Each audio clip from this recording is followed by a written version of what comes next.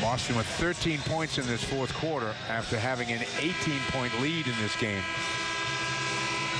Well, Pretty good defensively in the middle two quarters. They haven't been in too many situations where uh, they've had those